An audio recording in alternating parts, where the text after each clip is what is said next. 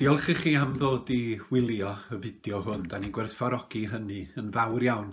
Mae'r hen feirus mae'n effeithio ar bob un ohono ni mewn amrywiol ffyrdd.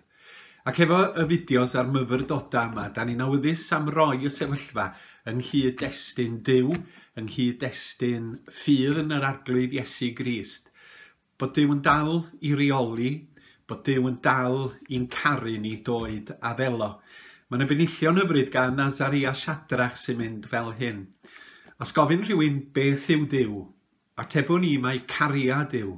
Be fflamiodd cariad tri yn un yn rhyfedd at anheilwng dyn. Nid dim rhinweddau yn omni na, dim awnaid ar galfar i fi'r achos sydd o garu dyn. Fi carodd er ei fwyn ei hun. Fe'n carodd ac fe'n car o hyd ym mhob rhyw drallod yn y byd. A'r rhai a garodd ef unwaith fe'i car i dragwyddoldeb maith. Wrth i ni fyfyrio y bore yma, mi fyddwn ni yn meddwl yn arbennig am Salm 46 y mae Dyw yn noddfa ac yn nerth i ni. Os da chi isio trowch i'r salm yn eich Beibl, mi fyddwn ni yn ei darllen hi mewn eiliad. Arglwydd, da ni diolch i ti am y bora newydd hwn ac am y bendithion da ni wedi i derbyn.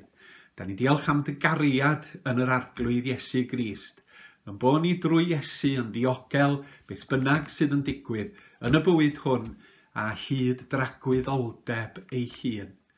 Ac yn yr amgylchiadau presennol, Da ni yn gweddio dros bob un sydd yn cael ei effeithio gan y feirws.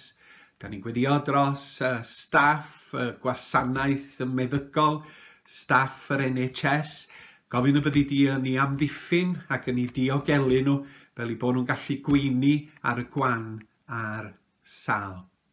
Da ni'n gweddio hefyd dros yr rhai hynny sydd yn gaeth i'w cartrefi ar hyn o bryd. A nid i'n helpu ni i ddangos gofal i'w ffonio nhw, i weddio drastyn nhw, fel yn bod ni do, yn dod drwy y twnnel tywyll hwn i oleini maes o law. Clyw yn gweddi ni, wrth i ni daddoli di, yn enw Iesu Grist ein harglwydd. Amen.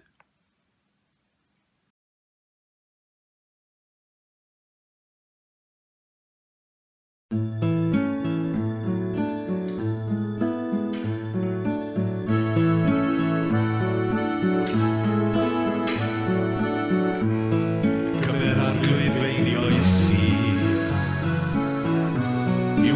segri o gyd ti. Cymer fy munudau fod. Byth yn llifo er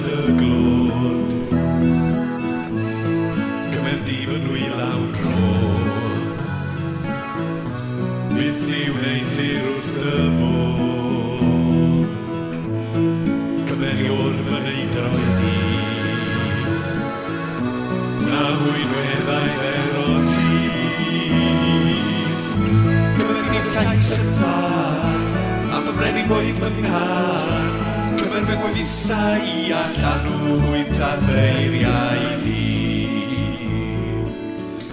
Gwnawyn weddau fer o ti, cyfer ddim llais yn lan, a mwna'r i fy nghar cyfer fy gwefusau a llanwyd a ddeiriau di.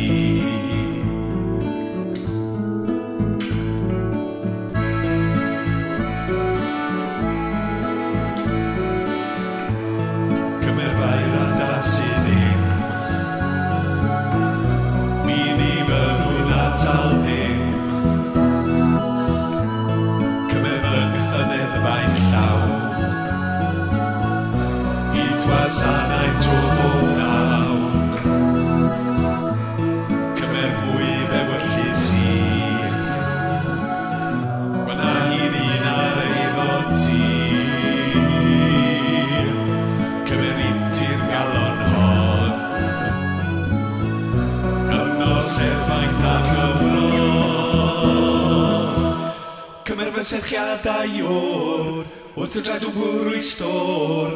Cymer arglwydd cymer fi Byth yn unig o'r llun ti.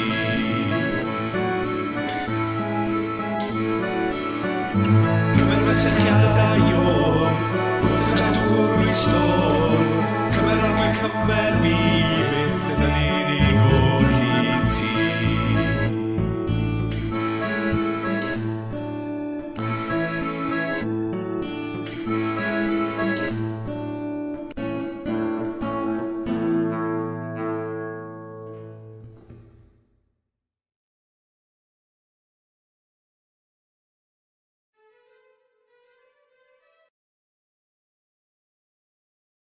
Salm 46 I'r arweinydd cerdd Can i leisiau merched ifanc gan feibion Cora Mae Dyw yn ein cadw ni'n saff ac yn rhoi nerth i ni. Mae o bob amser yna i'n helpu pan mae trafferthion. Felly fydd gynnon ni ddim ofn hyd yn oed petai'r ddeiar yn ysgwyd a'r mynyddoedd yn syrthio i ganol y môr gyda'i donau gwyllt yn troelli ac yn ewynnu. Mae'r mynyddoedd yn crynu wrth iddo ymchwyddo y mae afon. Mae ei chamlesu yn gwneud dinas diw yn llawen. Ie, y ddinas lle mae'r diw goruchaf yn byw. Mae diw yn ei chanol, fydd hi byth yn syrthio. Bydd diw yn dod i'w helpu yn y bore bach. Mae gwledydd mewn cyffro a ffurnasoedd yn syrthio. Pan mae diw yn taranu mae'r ddeiar yn toddi. Mae'r arglwydd holl bwerus gyda ni. Mae diw Jacob yn gair ddiogel i ni. Dewch i weld beth mae'r arglwydd wedi ei wneud, y difrod rhyfeddol mae wedi ei ddwyn ar y ddeiar. Mae'n dod â'r rhyfeloedd i ben drwy'r ddeiar gyfan. Mae'n malu'r bwa ac yn torri'r wyffon ac yn llosgi cerbydau rhyfel mewn tân. Stopiwch, mae'n bryd i chi ddeall mai diw ydw i. Dwi'n llawer uwch na'r cenhedloedd, dwi'n llawer uwch na'r ddeiar gyfan. Mae'r arglwydd holl bwerus gyda ni mae Dyw Jacob yn gair ddiogel i ni. Helo, um, yn amlwg di uh, cyfarfodydd eglwys ddim yn dal mlaen i fynd. Um, felly bydd na ddim cyfarfod bore syl a ddim cyfarfod yn Grangetown chwaith. Ond dwi ddim yn gyfle i beidio anad yn gilydd, dwi ddim yn reswm yn ei beidio um, ia, yeah, dal ati rannu be ni wedi bod yn ddarllen a alla be mae Dewi fod yn deud wrthyn ni.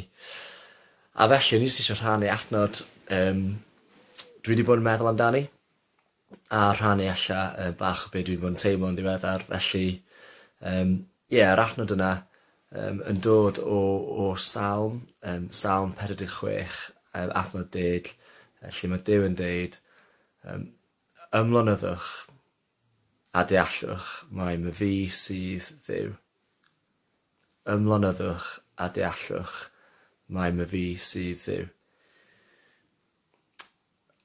A mae hynny jyst yn teimlo'n rili really anodd i wneud ar hyn o bryd. Um, os ydych chi wedi bod i'r arfarchnad, os ydych chi wedi bod um, hyn ar, yn, ar strydoedd Caerdydd neu ar y trefi lle dyn ni'n byw, mae yna ma, panic, mae yna um, pwysau, mae yna straen, um, ie, dwi ddim yn teimlo fel amser i ymlonyddu, i stopio, a just i, i, i gofio mae Dyw sydd yn charge. Um, yeah, os dwi'n onest, dwi just yn ffeinio fo'n really, um, yn real her i gofio bod Dyw yn hanol pob peth sydd ymlaen, yn hanol yr tribunni, yn hanol yr y pethau dwi ddim yn gwybod sydd wedi ddigwydd, mae Dyw yn deud, ylwch, dwi yn fwy na hwn. Mae'n deud wrth ni stopio i droi yn llygyd arno fo. A dwi jyst yn meddwl mae hynny newid byd. Uh, dwi'n mynd rhywbeth os ydych chi uh, yn credu yn niw, os ydych chi yn, um, yn caru diw, os mae diw hyn yr arach eich reidar chi o'r gwbl. Ond dwi'n meddwl bod yr ymwybyddiaeth yna bod dew yn fwy na'r sefyllfa bresennol, um, bod dew isio'r gorau ni, bod o'n edrych allan am ni, bod o'n caru ni, um, bod o'r gyda ni yn hanol hyn i gyd, uh, dwi'n meddwl bod hynny yn masif. A felly dwi jyst eisiau anod chi ac ei ges herio chi a fy hun yn hanol pob peth sy'n mynd ymlaen. A dwi'n cymryd yr amser i ymlynyddu, i dawelu, i stopio a di gofio, o ddim fi sy'n charge, ddim hyn oed arweinwyr yn glad ni sy'n charge, ond, ond Dyw sydd uh, gor uwch hyn i gyd. Um, ydw i'n trystio ynddo fo yn hanol y stres yma. A dydw i'n dal mae'n i wneud yr hyn mae o'n galw fi i wneud. Ydyn ni yn, yn dal ati i fyw fel mi o yn galw ni fyw. Um, yn edrych allan am y pobl yn gwmpas ni, yn rhannu uh, ei gariad o, Um, a mae'n her i ni gyd yn yr amser yma. Um, felly ie, yeah, jyst rhywbeth i, i ni feddwl am efallai. Um, er bod na ddim cyfarfodydd eglwys, dwi ddim yn reswm i ni beidio a anod neu um, beidio a troi'n golwg ar ddiw. Um,